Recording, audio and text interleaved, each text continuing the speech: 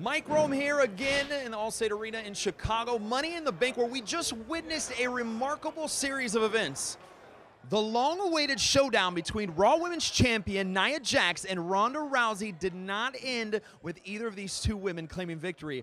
Now, while the irresistible force and the baddest woman on the planet gave it their all in an absolute classic Raw Women's Championship match, it was none other than Alexa Bliss who walked away the winner.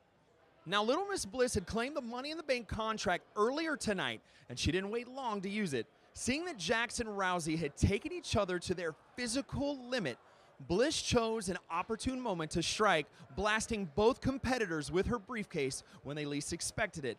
Now, once Bliss cashed in her contract and the official called for the bell, it only took a twisted bliss from Alexa on Nia Jax to earn Miss Bliss a third Raw Women's Championship.